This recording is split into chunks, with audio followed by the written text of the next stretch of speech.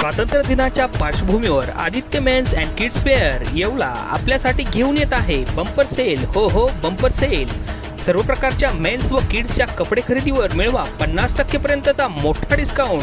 Offer फक्त एकतीस ऑगस्टपर्यंत. तेव्हा त्वरा करा. आजच सर्व प्रकारच्या फॅशनेबल कपड्यांसाठी संपर्क करा. गाडेबंधू यांचे आदित्य मेन्स आणि kids wear. Bajrang market Keshavrao Patel भाजी मार्केट समोर. संपर्क नव्वद पंच्याहत्तर झिरो पाच छप्पन्न. छप्पन्न जीव असणारे सी फॅन्स व सी ब्लॅक कोरल्स यांची तस्करी करणाऱ्या एकास येवला शहरातून अटक करण्यात आली आहे. दिनांक सतरा ऑगस्ट मंगळवार रोजी वन परिक्षेत्र अधिकारी येवला वन विभाग यांना मिळालेल्या गुप्त माहितीच्या आधारे येवला शहर व परिसरात समुद्री जैवविविधता वातावरण बदलाच्या दृष्टीने आवश्यक असणारे समुद्री जीव सी फ्लॅ फॅन्स व ब्लॅक कोरल्स यांची तस्करी व विक्री येवला शहरात होत असून या संदर्भात कार्यवाही व्हावी या अनुषंगानं महाराष्ट्र वन विभाग वन परिक्षेत्र अधिकारी यावला यांच्या वतीनं नगर मनमाड रोडवर सापळा रचण्यात आला होता. यावेळी संशयित असणारा योगेश रमेश दावाडे वय अडवतीस राहणार विठ्ठलनगर येवला याला समुद्री शंख शिंपले जंगली कंद लुप्त होत असलेल्या समुद्री जीवांचे अवशेष यासह भारतीय अधिनि भारतीय वन विभाग अधिनियम एकोणीसशे बहात्तरच्या शेड्यूल वनमध्ये येणारे वनस्पती व प्राणी अंश यांच्यासह ताब्यात घेण्यात आले.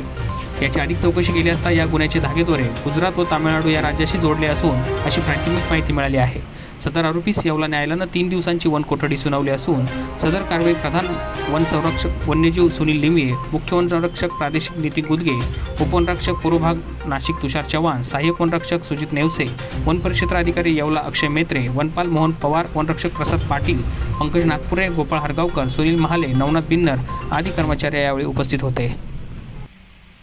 समुद्री जैवविविधता व जागतिक वातावरण बदलाच्या दृष्टीने आवश्यक असणारे समृ समुद्र जीव जसे की ब्लॅक कोरल आणि सी फॅन्स ह्याच्या तस्करी संबंधी मिळालेली गुप्त माहितीच्या अनुषंगाने आज दिनांक सतरा ऑगस्ट दोन हजार एकवीस रोजी येवला वन परिक्षेत्र यांच्यातर्फे एक सापळा रचून येवला मनमाड रोडवर एक कारवाई करण्यात आली ज्यामध्ये योगेश रमेश दाभाडे वयवर्ष अडतीस तालुका राहणार येवला तालुका येवला यांना तिथं अटक त्यांना ताब्यात घेण्यात आलं व त्यांच्याकडून मुद्देमाल हस्तगत करण्यात आला.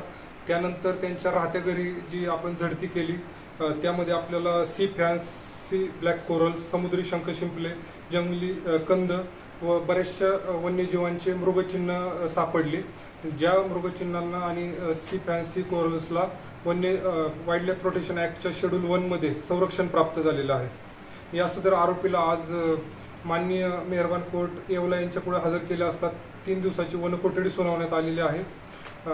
हे जे वाई वाईल्ड कोरल्स जे आहेत समुद्री जीव जे आहेत बरेचशा लोकांकडून अंधश्रद्धेपोटी गुड गुड लक चार्म म्हणून ते घरामध्ये फ्रेम करून हे करण्याची आजकाल एक पद्धत चालू झालेली आहे. तरी वन विभाग तुम्हाला सर्वांना असं आवाहन करतो की अशा अंधश्रद्धांना आपण बळी पडू नका.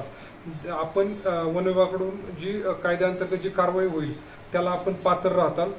सदर कारवाई ही माननीय प्रधान मुख्य वन संरक्षक वन्यजीव श्री सुनील लिमये सर श्री नितीन गुदगे सर मुख्य वन संरक्षक प्रादेशिक नाशिक श्री तुषार चव्हाण सर उपवन संरक्षक पूर्व भाग नाशिक यांच्या मार्गदर्शनाखाली येवला वन वन विभाग प्रादेशिक यांच्या कर्मचाऱ्यांकडून करण्यात आले.